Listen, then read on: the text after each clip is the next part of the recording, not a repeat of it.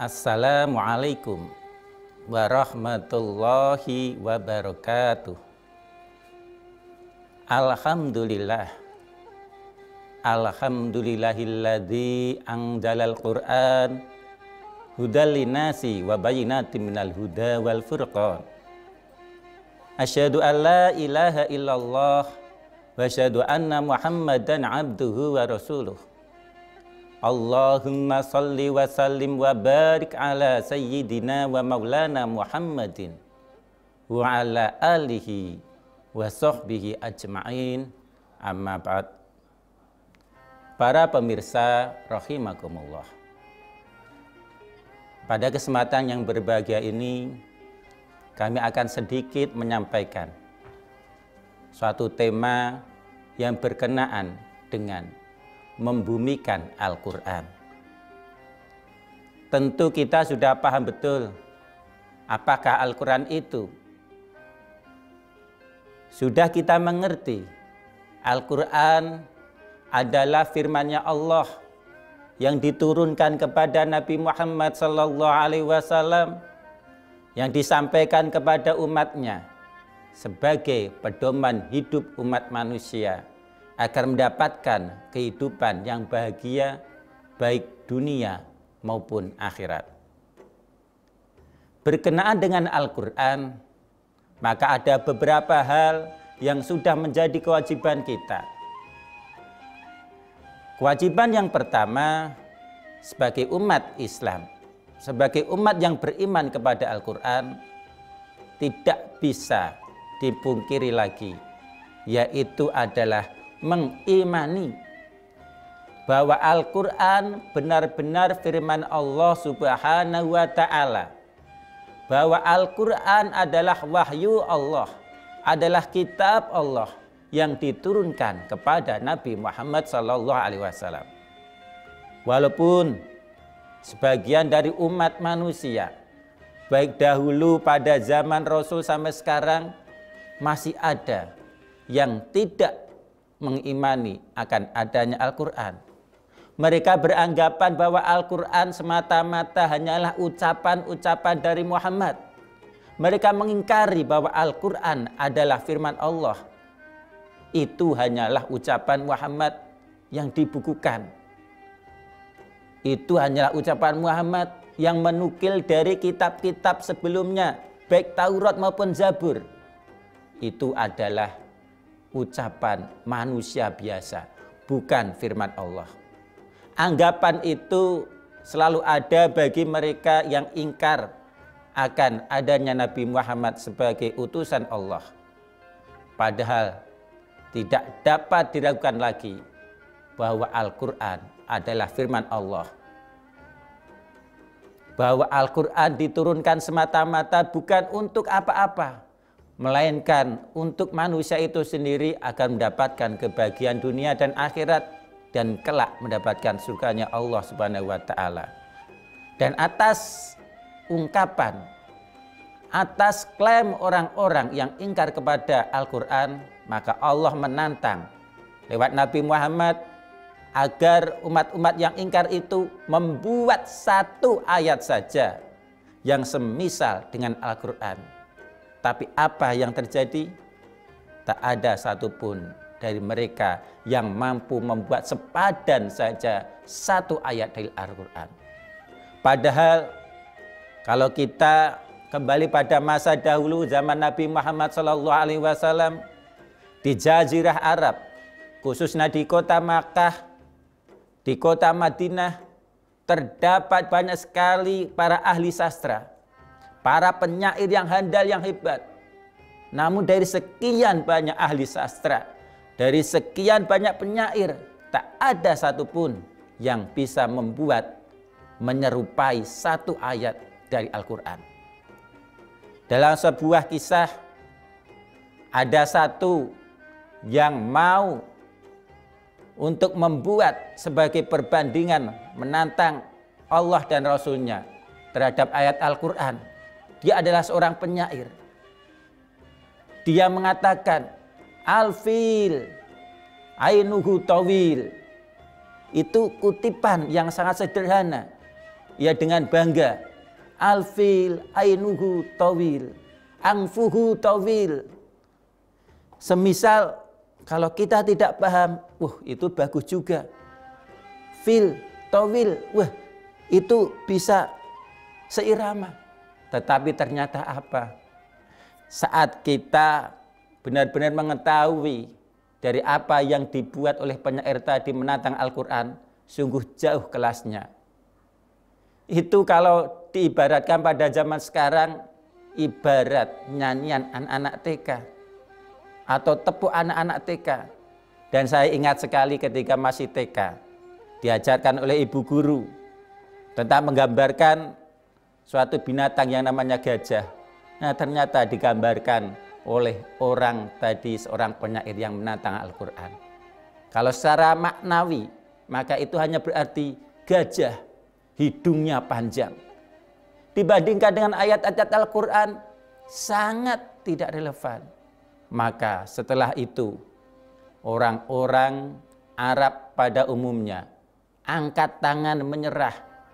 Dan orang-orang yang benar-benar tahu tentang namanya ilmu sastra, mereka angkat topi bahwasanya Al-Quran mempunyai keindahan sastra yang luar biasa, mempunyai makna yang sangat dalam, dan tidak ada satupun dari mereka yang mampu membuat satu ayat saja dari Al-Quran.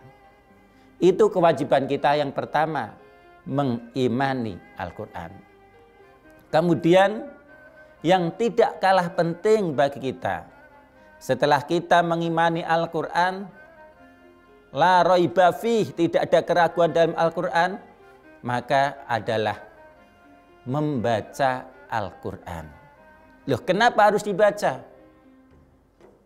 Al-Quran secara bahasa itu artinya bacaan. Yang namanya bacaan tentunya dibaca.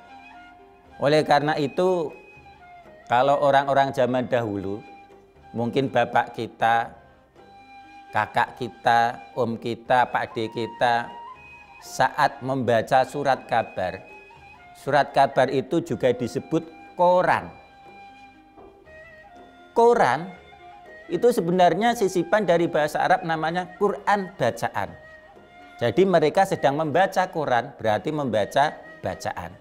Nah, Al-Quran pun demikian. Al-Quran secara bahasa adalah bacaan. Maka kewajiban kita adalah membaca. Ingat, dengan membaca kita akan mendapatkan banyak sekali ilmu.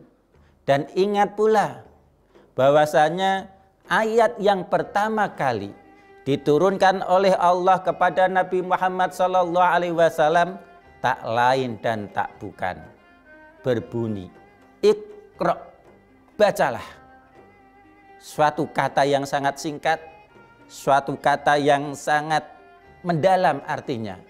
Ikro bacalah. Bacalah di sini bukan hanya sebatas membaca huruf, membaca tulisan, tetapi lebih luas lagi.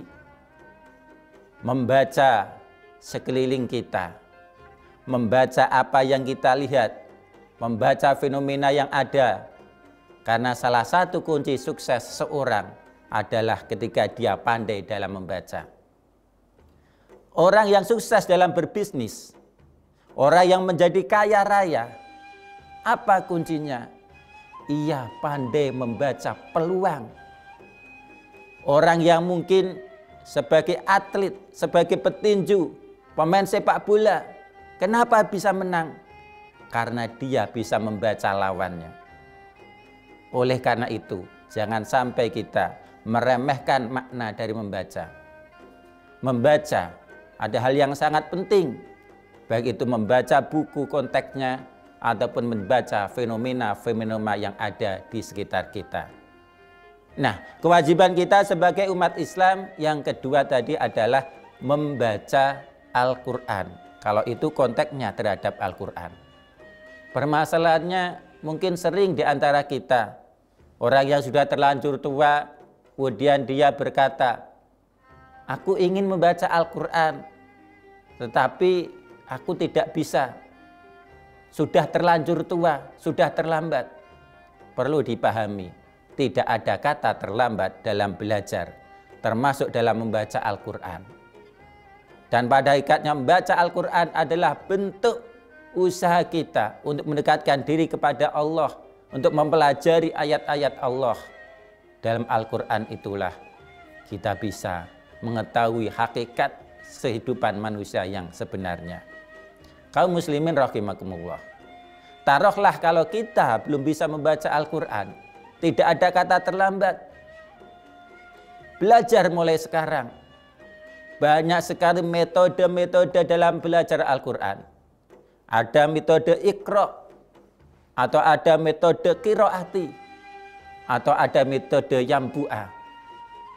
Segala metode itu tujuannya adalah agar kita bisa membaca Al-Quran dengan baik dan benar tentunya. Oleh karena itu, bagi saudaraku seiman setakwa, apabila di antara kita masih ada yang belum membaca Al-Quran dengan baik dan benar, janganlah sampai ada putus asa bagi diri kita untuk senantiasa belajar dan belajar. Ingat, pahala membaca Al-Quran, satu huruf saja itu setara dengan sepuluh kebaikan. Satu huruf saja. Alif Lam Mim. Nabi berkata, itu bukan satu kalimat. Itu bukan satu alif. Tetapi alif itu satu huruf. Lam itu satu huruf. Mim itu satu huruf. Coba bayangkan betapa pahala yang banyak kita dapatkan dengan membaca Al-Quran. Surat Al-Fatihah kita baca. Betapa huruf yang ada itu begitu banyaknya. Dan satu huruf sebanding dengan sepuluh kebaikan. Subhanallah. Allah begitu murahnya, begitu sayangnya kepada hambanya. Kepada kita semua yang beriman kepada Al-Quran dan mau membaca Al-Quran. Kaum muslimin rahimakumullah. Berkenaan dengan membaca Al-Quran tersebut, Nabi Muhammad Wasallam juga telah bersabda, Iqra'ul Qur'ana fa innahu ya'ti yaumal qiyamah safian li ashabi. Bacalah Al-Quran. Sesungguhnya kelak di hari kiamat Al-Quran itu akan menjadi penolong bagi orang-orang yang ahli Al-Quran orang-orang yang senantiasa membaca Al-Quran baik pagi, siang, sore maupun petang. Kita berusaha agar lisan kita terbiasa untuk melafalkan kalimat-kalimat Allah, ayat-ayat Allah yang termaktub dalam Al-Quran. Kita berusaha untuk dekat dengan Al-Quran. Toh seandainya kita sudah berusaha untuk bisa membaca Al-Quran, tetapi belum bisa kita memohon kepada Allah semoga anak-anak kita nanti menjadi generasi Qurani, menjadi generasi yang menyatu dengan Al-Quran, cinta kepada Al-Quran, senantiasa membaca Al-Quran, dan syukur-syukur menjadi para hufat, baik anak laki-laki dan anak perempuan, menjadi orang yang penghafal Al-Quran. Insya Allah keberkahan orang tua pun akan mendapatkan ketika sang anak-anak itu nanti menjadi ahlul Quran. Para jamaah rahimakumullah, para pemirsa budiman yang senantiasa diridhoi oleh Allah Subhanahu wa taala. Selanjutnya, kewajiban kita yang tidak kalah penting terhadap Al-Qur'an adalah mempelajari kandungannya serta mengamalkan pokok-pokok kandungannya kita pelajari Al-Quran. Kalau toh kita memang belum bisa membacanya, hati-hati tetapi dalam mempelajari Al-Quran. Jangan hanya kita hanya bermodal dengan Al-Quran terjemah, kita baca artinya, kemudian kita ambil kesimpulannya. Masya Allah, ini sangat berbahaya. Kalau kita melihat fenomena yang ada, baik dahulu sampai sekarang, mungkin dalam tanda kutip, banyak para teroris-teroris banyak kaum radikal.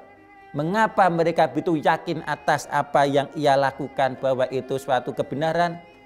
Karena mereka salah dalam memahami konsep Al-Quran. Mereka salah dalam memahami tujuan Al-Quran kandungan-kandungan pembelajaran-pembelajaran yang dalam Al-Quran tersebut dari kesalahan tersebut dia anggap sebagai keyakinan yang kemudian berakibat fatal muncullah orang-orang jihadis orang yang suka membunuh yang tidak sependapat dengan mereka orang yang tidak segolongan dengan mereka dianggap sebagai halal darahnya na'udzubillah summa na'udzubillah ini dikarenakan apa ini dikarenakan karena semangat mereka dalam berislam sungguh luar biasa. Mereka mau belajar Al-Quran, tetapi tanpa adanya guru. Dan seandainya ada guru, ia mendapatkan guru yang salah. Yang sering kali memahami Al-Quran hanya konteks terjemahan semata. Tidak paham akan adanya tafsir, tidak tahu adanya ayat nasih mansuh, tidak tahu tentang asbabun nuzul dan setiap hal-hal yang berkenaan dengan Al-Quran kaum muslimin rahimakumullah. Oleh karena itu terutama para remaja yang cinta kepada Al-Quran, yang cinta kepada Islam dan bersemangat untuk berdakwah. Silahkan kalian belajar tentang Al-Quran sebanyak mungkin. Tetapi jangan mengambil kesimpulan. Jangan menyambil pemahaman hanya berdasarkan akal kalian semua. Kita butuh guru yang benar-benar paham tentang Al-Quran sehingga pemahaman kita tentang Al-Quran tidak akan melenceng. Dan akhirnya kita bisa mengamalkan Al-Quran sesuai dengan apa yang Allah Subhanahu wa taala ajarkan kepada Nabi Muhammad wasallam.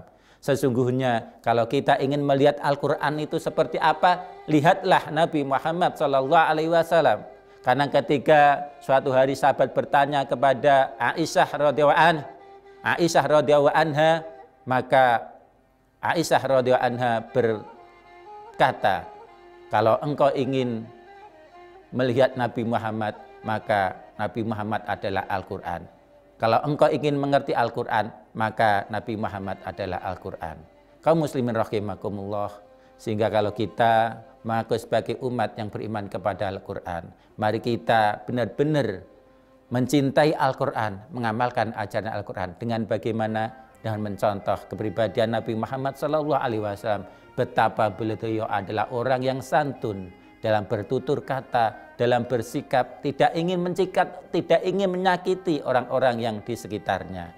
Sesungguhnya Nabi Muhammad Wasallam adalah Al-Quran yang berjalan. Kaum muslimin rahimakumullah, ini mungkin yang dapat saya sampaikan.